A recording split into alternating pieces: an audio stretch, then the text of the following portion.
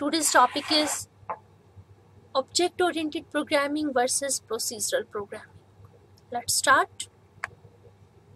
Now, firstly, the question is what is programming?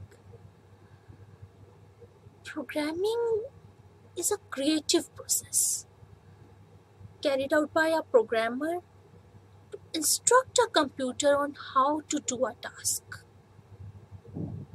There are some terms. Programming is a creative process. When a problem is given, we have to think about that problem creatively. How the solution of this problem can be designed. Next, carried out by a programmer. A pro person who is doing that creative process of programming is known as programmer and via programs he or she is instructing the computer to do a particular task that is we are doing programming in a language which the computer can understand or we have to make the computer understand that language there are various types of languages like c c++ java python Fortran, COBOL, Pascal, etc., etc., etc. Now, these programmings are based on some approaches of programming known as programming paradigm. Programming paradigm is a way to do programming. Some of the languages are based on multiple paradigms. Some are based on a single paradigm but two most important programming paradigms are procedural programming and object-oriented programming. In procedure-oriented programming or procedural paradigm, the main emphasis is on procedure. It consists of a list of instructions organized in groups and those groups are known as functions. For example, in the figure shown, there is a main program, main function, and other than this main function, there are various functions named as function 1, function 2, function 3, function 4, function 5, and these functions are associated with each other. So, the whole program is a combination of functions when the main emphasis is on functions or procedure, then a very less attention is given to the data. Data is used by various functions. So, a lot of data items are placed global. Here global means that data can be accessed by any of the function in the class uh, in the program sorry but along with that global data each function or each module can have its local data also. So the local data is only for that function but the global data can be accessed by any of the function in that program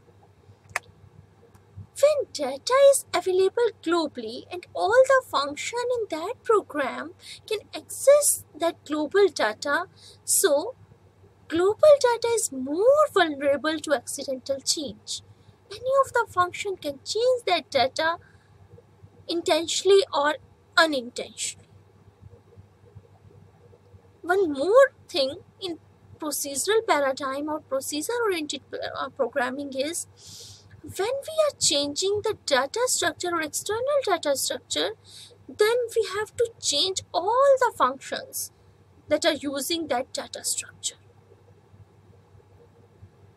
Procedural programming or procedure-oriented programming doesn't model real-world problem.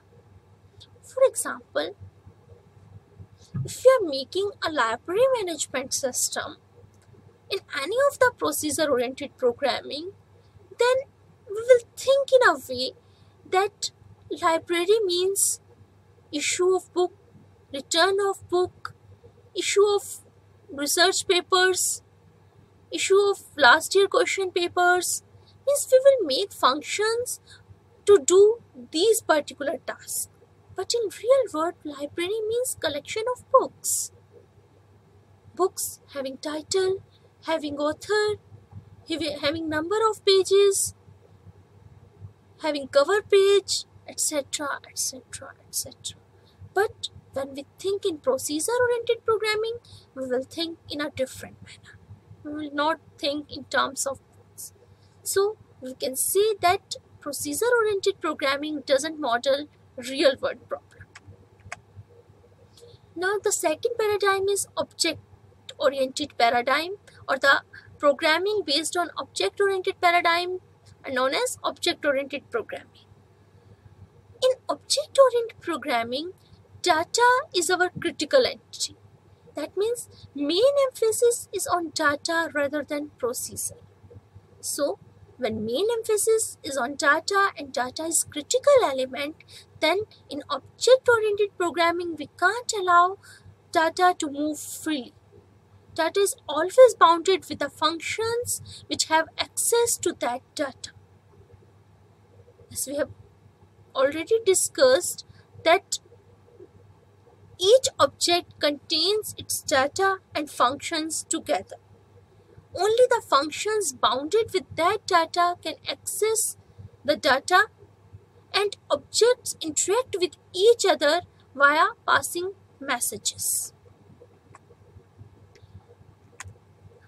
When only the functions which are tied together with that data can access that data, so there is no chance of accidentally changing the data via other functions. Now we can see decomposition of a problem into a number of entities called objects. That is, in Uh, object-oriented programming, we decompose a problem in number of entities which are known as objects. If we come to our previous example, that is library management system, now when we make that system in object-oriented programming or we code that system in object-oriented programming, then our main emphasis will be books. Because the main emphasis is on data.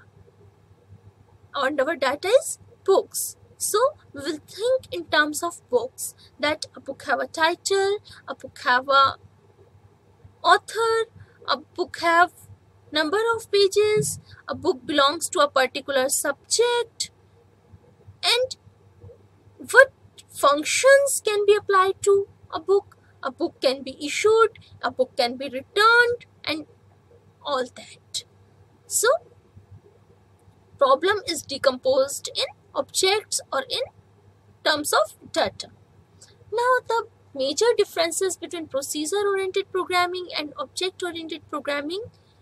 The first difference is in procedure oriented programming uh, emphasis is, uh, is on procedure but in object oriented programming emphasis is on data here data is critical entity so we pay more attention to data rather than procedure in procedure oriented programming programs are divided in terms of functions whereas in object oriented programming programs are divided in terms of objects in procedure oriented programming most of the functions share global data where data can be changed by any of the functions. But in object-oriented programming, functions and the data on which they operate are tied together so that no other function can change the data accidentally. In object-oriented programming, data move openly around the system from function to function Whereas in object-oriented programming, we use the concept of information hiding or data hiding. So data is hidden and can't be accessed by external functions. Procedure-oriented programming employs top-down approach, whereas object-oriented programming employs bottom-up approach. Examples of pro uh, procedure-oriented programming are Fortran, COBOL, C, etc. Whereas is object-oriented programming, C++, Java, etc.